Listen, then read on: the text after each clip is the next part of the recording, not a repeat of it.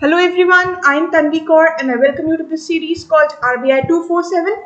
In this very series, we pick up some important financial topics and we try and discuss those topics with the help of different questions. So before moving on to question number one, if you are there for the very first time, you can subscribe to our channel and you can press this bell icon so that you can be notified whenever we come up with some new video.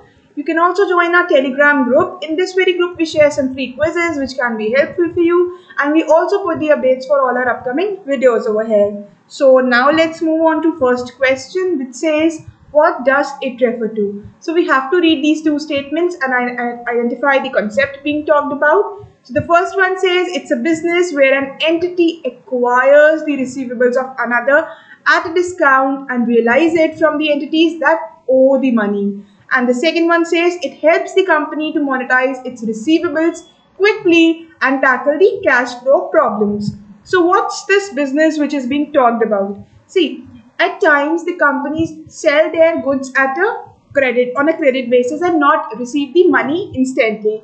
Moreover, they might render some services for which they might receive the payments later on. So when these goods or services are provided, uh, where the payments are received are receivable in future then a bill is issued to such customers to repay it at a future date. But what happens if a business is providing the goods and is not getting the cash immediately then it might have the problem of not having enough funding available. Now the business needs money for its day-to-day operations okay? If it is not having enough cash enough uh, cash in hand then it might have problems in conducting those business activities. So when these payments get delayed then the businesses suffer a lot. So in order to solve this problem there is a concept wherein some other entity it purchases the receivables. Receivables are what these are basically the bills which the company issues to those customers who are buying your goods or taking the services on a credit basis who will repay later. So it's an evidence that they have to pay you the payment later on. So when this receivable is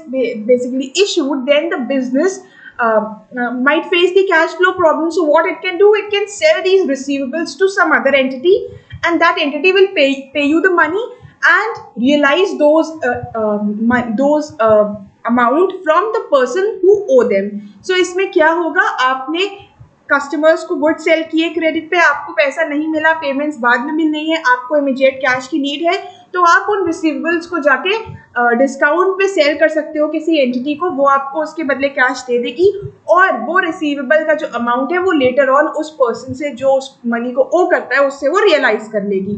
So what do we call such a business that business is known as factoring so answer is option D factoring में होता है कि आप अपने receivables किसी और entity को sell कर देते हो at a discounted rate and that entity will make you the payment of money and realise that money from the person who owes later on so why I am discussing factoring right now because a bill has been amended which is related to factoring and we are going to cover that bill so a brief interview of factoring was important for this so factoring regulation amendment bill Let's see what's the news now. So MSMEs persistently face the payment delays from large clients, a hurdle somewhat smoothed by factoring business. So the Factoring Regulation Act aims to support this sector. मैंने जैसे कि आपको बताया payment delay होती है, जिस वजह से बिजनेसेस सफ़र करते हैं। So M S M Es are facing this problem lot where their payments are getting delayed and they are not having enough cash flows available enough funding available नहीं है एम एस एम ईज के पास, क्योंकि वो काफ़ी जैसे credit पे कोई चीज़ cell करती है और उस, वो पेमेंट डिले हो जाती है, उन्हें वो पेमेंट मिलती नहीं। इस केस में फैक्टरिंग बिज़नेस काफ़ी हेल्प कर सकता है कि वो अपने रिसीवेबल सेल कर दें। So this bill which is basically in news these days, which has recently been passed, uh, is going to support this forfeiting business, this factoring business, sorry. So Lok Sabha recently passed the Factoring Regulation Amendment Bill. Earlier we had Factoring Regulation Act. We'll discuss what was there in this act and how this bill which has come up now is an improvement over that okay so before that let's just cover these points related to factoring once again as i've already told you it's a business where entity acquires the receivables of another entity known as the assigner for certain amount and factors factors are those businesses which acquire your receivables and make you the payment and later recover them from the person who owes that money so those factors acquire the receivables of a company at a discount and realize them from the entities that owe the money जैसे कि मैंने अभी आपसे ये discuss किया This helps the company to monetize its receivables quickly and tackle the cash flow problems. So जल्दी से जल्दी आपको उन receivables के बदले cash मिल जाएगा और आपकी जो funding की problem है वो solve हो जाएगी ना फैक्टरिंग जो है वो मैनुअली भी किया जा सकता है और इलेक्ट्रॉनिक प्लेटफॉर्म्स के थ्रू भी एक इलेक्ट्रॉनिक प्लेटफॉर्म जो है वो है ट्रेडिंग जो ये इलेक्ट्रॉनिक प्लेटफॉर्म है, इसको हम कहते हैं ट्रेडिंग रिसीवेबल्स डिस्काउंटिंग सिस्टम जहाँ आपके ये जो ट्रेड रिसीवेबल्स है, जो ये बिल रिसीवेबल्स है, ये डिस्काउंट होते हैं जो आप डेटर्स को इशू करते हो। R X I L Invoicemart M one exchange ये कुछ ऐसे ऑनलाइन फैक्टरिंग प्लेटफॉर्म्स है। Factoring can be done both manually as well as electronically and that electronic exchange is called TREDS and these are the names of some online factoring platforms. Now factoring helps small firms to manage their working capital cycle. See, for day-to-day -day needs, they need funding. So that funding problem for small firms can be solved through factoring. When MSME suppliers have to wait long for payments, they sell the purchase invoices to factoring businesses and these businesses buy them at a discount and get the money and MSMEs get the money quickly. So ये जो पूरा process मैंने discuss किया ये summed up है last statement में all right. So ये था हमारा factoring का concept. अब हम देखते हैं कि इस जो ये जो bill आया है इसमें क्या नया है vis-a-vis our previous factoring regulation act. So जो पहले वाली factoring regulation act थी वो कहती थी कि आरबीआई सिर्फ़ कुछ ही एनबीएफसी को ऑथराइजेशन देगा कि वो फैक्टरिंग बिज़नेस में इन्वॉल्व हो सकती हैं, और वो वो एनबीएफसी होंगी जिनका प्रिंसिपल बिज़नेस ही फैक्टरिंग है। प्रिंसिपल बिज़नेस से मेरा मतलब है कि जहाँ उनके आधे असेट्स या आधी इनकम ही फैक्टरिंग बिज़नेस से आती है, वही एनबीएफसी जो है सिर्फ़ वही फैक्टरिंग बिज़नेस में हो सकती हैं। So factoring regulation act says that RBI will authorise only those NBFCs whose principal business is factoring. And when we say that a principal business is factoring, when half of the asset or income earned is in the factoring business. So this was the requirement of Factoring Regulation Act and according to this around 7 NBFCs were there only which were providing this factoring businesses. So there was a need to expand the coverage to have more entities being able to provide such services and thus this bill has come up which has recently been passed as well. So the bill seeks to liberalize the participation of NBFCs in factoring business और NBFCs को liberty दी जाएगी कि वो भी इस business में आ सकती है तो इस बिल ने जो ये पुरानी थ्रेशोल्ड थी इसको रिमूव कर दिया है और ये कहा है कि वो एनबीएफसीज जो ये रिक्वायरमेंट मीट नहीं कर पाती वो भी अब इस बिज़नेस में आ सकती है। तो अराउंड नाइन थाउज़ेंड से ज़्यादा एन बी एफ़ सीज भी अब फैक्टरिंग बिज़नेस की फैक्टरिंग uh, बिज़नेस में आएँगी और ये services M S M Es को प्रोवाइड करेंगी। So this amendment has open up the sector to other N B F Cs for participating in factoring business as well as in the online platforms of factoring okay so that problem has been solve by this amendment bill so what benefit is it going to offer अब हमने अभी तक जो discussion किया factoring के बारे में, उससे हमें थोड़ा तो आइडिया लग गया कि क्या बेनिफिट हो सकते हैं।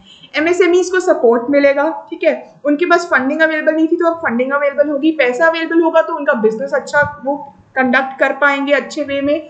उनकी जो पेमेंट्स डिले होती थी, वो स्मूथ हो जाएँगी, वो जल्दी रिकवर हो जाएँगी, उनको कैश फ्लो के हिसाब से प्रॉब्लम्स नहीं रहेंगी। So now see them point by point okay the what I have explain this is only discuss in these benefits so first benefit is they will solve the problem of stretched payment cycle जो payment में delay होता था the delay in payment that will reduce because you are, you will get the money recovered from, you will get the money from these factors and they will later recover it from ones who owe So vibrant factoring industry will make financing smooth for MSMEs. अब MSME और small businesses को जो funding की problem होती थी जो finance उनको available नहीं होता था that problem will be solved क्योंकि उन्हें जल्द से जल्द उन receivables के बदले पैसे मिल जाएँगे If the small firms are financially healthy, it will improve their ability to purchase from large producers.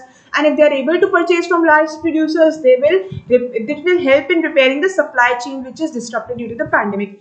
Already MSME की पेमेंट वैसे ही डिले होती थी। पैंडमिक ने उसको और एक बिग बूस्ट दिया और प्रॉब्लम्स आई ठीक है? सप्लाई चेन डिस्टर्ब हो गई वो इतना इजीली गुड सर्विसेज़ प्रोवाइड नहीं कर पा रहे क्योंकि उनके पास बिज़नेस कंडक्ट करने के लिए फंडिंग नहीं है। सो so, अगर ये स्मॉल फर्म्स के पास ये फैक्टरिंग की सर्विसेज़ इजीली अवेलेबल होंगी उनके पास पैसा अवेलेबल होगा वो easily goods raw material purchase कर सकते हैं प्रोड्यूसर से उन्हें प्रोड्यूस कर सकते हैं। And finally this supply chain में जो ये डिसरप्शन हुई है पैंडमिक की वजह से, वो भी सॉल्व हो सकती है। Increase supply of funds available to small businesses okay this में result in bringing down the cost of funds enable greater access to credit staff small business ensure timely payments against receivables so ये MSMEs को timely payments दिलाने में, उनकी credit problem solve करने में सब में हेल्प करेगी। More players in factoring business are expected to improve competition and efficiency. Till now, we had around just seven NBFCs providing this services. Now, if more NBFCs are entering, there will be more competition. So, it's better for the customers who are availing such factoring services. It will improve the efficiency. All this is expected to open up the opportunity in the businesses to more non-bank lenders at a time when small banks are, small businesses are already facing financial stress due to pandemic अब pandemic की वजह से already बहुत financial stress है, जिसकी वजह से RBI ने काफ़ी सपोर्ट मेजर्स दिए एमएसएमई की तरफ़। तो ये एक और मेजर है जिसमें ज़्यादा N B F Cs available होंगे एम एस एम ईज की नीड्स फुलफिल करने के लिए। So these are few benefits which this amendment is going to offer now, what's the importance? See, the benefit is the importance as well because the MSME sector, these small businesses, they play a major role in the economy. This amendment bill can really be helpful for them and will give a big boost to our economy because these small business support manufacturing uh, exports okay they contribute a lot to the manufacturing output to the exports to the gdp uh, they generate a lot of employment so all these this because this sector is so important that's why we need to provide it the support इसलिए ये bill आया इसलिए ही ये bill important है okay So this was all about this bill. We already answered the first question. That answer was factoring. Now moving to second question related to this only. Factoring amendment, factoring regulation amendment bill seeks to liberalize the participation of NBFCs in factoring business. So what, uh, what of, uh, not what, which of the following benefits is um, this bill going to offer? So it's going to offer all these four benefits. I have just discussed them. So answer is option E. Okay, you can read them once again. All the benefits which I discussed, they have only been covered over here. Now moving to next topic and next question of the day. So this is another bill which has been, um, this is another amendment to some other bill, through some other bill. Let's discuss this amendment as well. IBC Amendment Bill 2021 offers a simplified version of the Insolvency Bankruptcy Code that saves time, cost of bankruptcy proceedings for the small businesses in distress through a resolution scheme. Unlike the earlier resolution process, debtors remain in the control of the distressed firm during this very scheme. So you have to identify the scheme. We already have the insolvency bankruptcy code in place which makes use of the corporate insolvency resolution plan okay? The firms which are not able to repay the debt they will be covered under this resolution plan and then the proceedings will go on. An insolvency professional will help in the recovery and making sure that the payments reach reach the lenders. But what happens in this very case is that when you are uh, involved in CIRP that is corporate insolvency resolution process then the investors might take over your new business okay or insolvency professionals might take over that business that business is no more in the control of debtors the corporate debtors who owe money जो पैसा owe करते हैं जिन जो insolvent हो गए पैसा repay नहीं कर पाए उनसे वो बिज़नेस ले लिया जाता है उनके अंदर उस बिज़नेस का कंट्रोल नहीं रहता लेकिन जो इस अमेंडमेंट बिल में नई रेजोल्यूशन स्कीम आई है उसमें कंट्रोल जो है एग्जिस्टिंग कॉर्पोरेट डेटर्स के पास ही रहेगा सो so, इस नई स्कीम को हम क्या कहते हैं to this question is option A it's called the pre pack resolution scheme okay और the pre pack insolvency resolution plan. So let's discuss a bit about this bill and this plan. The bill to amend the IBC was tabled in Lok Sabha and has recently been passed. So it offers a simplified version of IBC which will save time and cost of bankruptcy proceedings for small businesses through a pre-packaged solution. So we'll see how this pre-packaged solution will help in saving time and cost. It's an informal way of stitching together the corporate rescue plan and uh, for which the seal of approval will be taken by the tribunal. So यहाँ पे पहले ही कुछ agreement हो जाएगी informally और बाद में tribunal का approval लिया जाएगा. So informal के बाद वो formal की तरफ़ जाता है और overall time और cost बचाता है ये plan. So let's see what is this pre-pack scheme or plan. The pre-pack is the resolution of debt of a distressed company through an agreement between secured creditors and investors instead of a public bidding process. Unlike the case of CIRP, which is the Corporate Insolvency Resolution Plan, debtors remain in control of their distressed firm during the pre-pack insolvency resolution plan, that is PIRP. Alright, so let's see what happens. Suppose there is a firm who has taken a debt but is not able to repay that debt. Okay, we'll call it a corporate debtor. Okay, then we have a creditor who has provided the loan to this firm but that firm has not been able to repay back the loan. So what will happen in this pre-pack plan? An investor who has the money and is willing to invest will agree with this creditor to invest in this firm. Okay, so there will be no public bidding for purchase of this firm or for taking up the assets of this firm to make sure that it runs in a better manner to be able to repay the creditor rather the creditor and investor will agree that uh, the investor will invest in the firm and when the firm starts running in a better manner it generates some profit it will repay the debt of this creditor so so, इसमें क्या हो रहा है एक firm है जिसने date repay नहीं की है जो उसने इस क्रेडिटर से ली थी ठीक है? और कोई इन्वेस्टर है जो जिसके पास पैसा है, वो पैसा इन्वेस्ट करने को रेडी है। तो ये क्रेडिटर और इन्वेस्टर आपस में अग्री करेंगे कि ये इन्वेस्टर इस फर्म में पैसा इन्वेस्ट करेगा और जब ये फर्म अच्छा रन करने लगेगी, पैसा जनरेट करेगी तो ये डेट इस क्रेडिटर की वापस रीपे कर दी जाएगी। यहाँ हम पब्लिक बिडिंग प्रोसेस के थ्रू नहीं जा रहे, जो ज़्यादा टाइम टेकिंग है। Okay okay? So informally creditor और इन्वेस्टर अग्री कर लेते हैं और बाद में जाके इस अग्रीमेंट को अप्रूवल मिल जाएगा ट्रिब्यूनल से। तो इस केस में क्या होगा? इस फर्म अगर पब्लिक बिडिंग होती तो जो फर्म टेक ओवर करती, वो पूरा बिज़नेस ले लेती ओके एग्जिस्टिंग कॉर्पोरेट डेटर के हाथ में जो एग्जिस्टिंग पर्सन है जिसने लोन ले रखा है, उसके हाथ में वो बिज़नेस नहीं रहता। अब इस प्रीपैक प्लान में क्या होगा कि बिज़नेस ये इसी के पास रहेगा।